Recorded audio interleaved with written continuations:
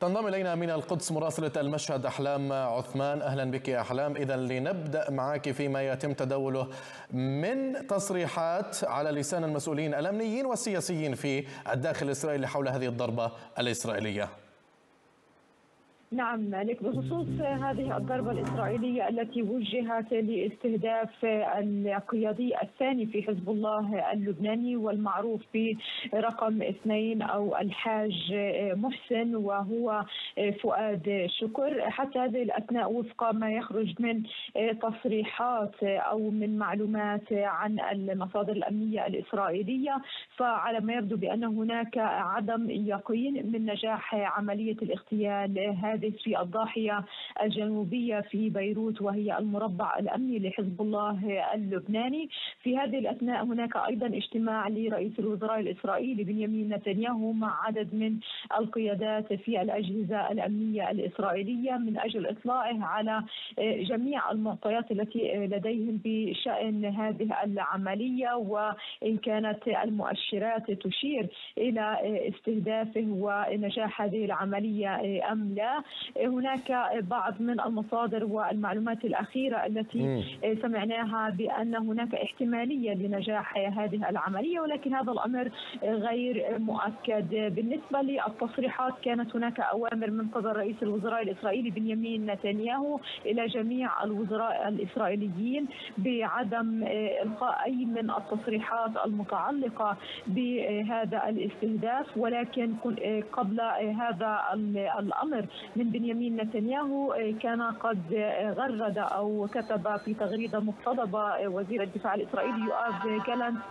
تغريدة قال فيها بأن حزب الله اللبناني تخطى الخطوط الحمراء وأيضا كانت هناك لربما تغريدة أو تصريح من قبل وزير الأمن القومي ايتمار بن كبير تغريدة لربما تعتبر سوقية نوعا ما قال فيها بالأحرف العبرية ولكنها بكلمات عربية بأن كل كلب يجي يوم على حد تعبير ووصف ايتمار بن كبير.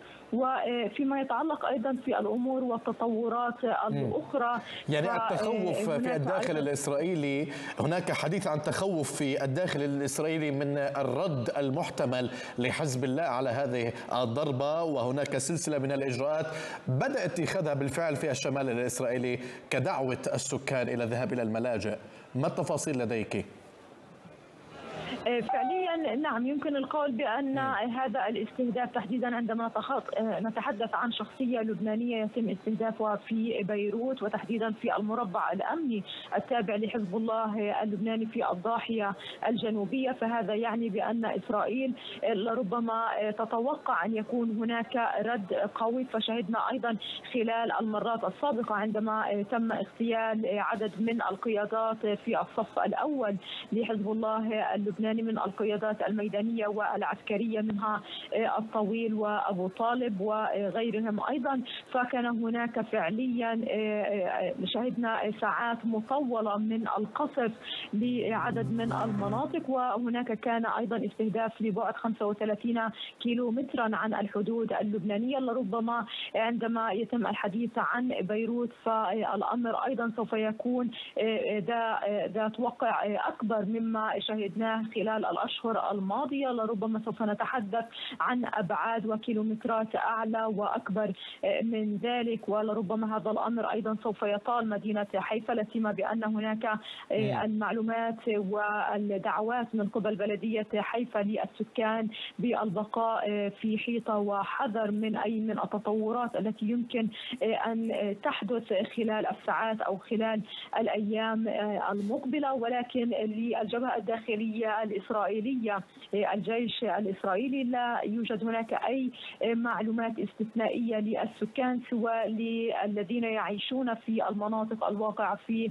الجولان السوري المحتل نعم. للقرى للمدن وأيضا للمستوطنات المتواجدة هناك بالبقاء بالقرب من الملاجئ وذلك تحسبا لإمكانية الرد من قبل حزب الله اللبناني. نعم. شكرا لك مراسلة المشهد. من القدس أحلام عثمان على جميع هذه التفاصيل.